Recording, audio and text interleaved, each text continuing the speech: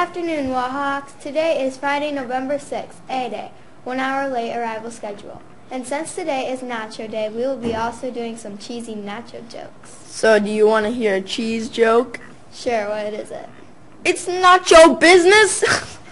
That was deliciously cheesy. Speaking of cheese, Wendy's on JFK puts cheese on a lot of their tasty menu items. And you should try them out. But not today. Wait till Monday, because it's Wendy's night on JFK from 5 to 7 p.m. Hope Can to we- see you there. Can we do another nacho joke? Fine, if you really want to. What do you get when you cross a smurf and a cow? I truly have no idea. You get blue cheese. Right. Okay.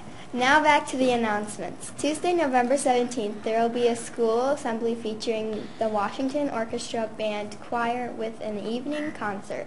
Put on put it on your calendars. Queso. Tonight is the dance. Ah, get it? Like queso the cheese. Got it. Queso. Tonight is the dance. Wear your wash attire and be on your best behavior so we can have a great time.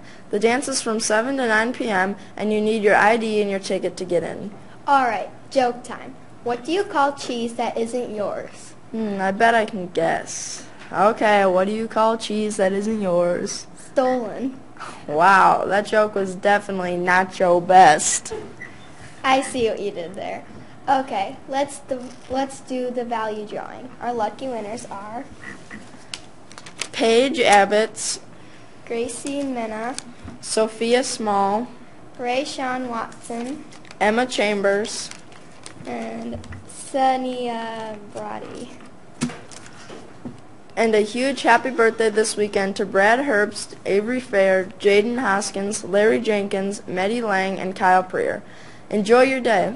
The cheesiest thought of the day for the day is life is a nacho. It can be yummy, crunchy, or squishy, or yucky. It just depends how long it takes for you to start eating it.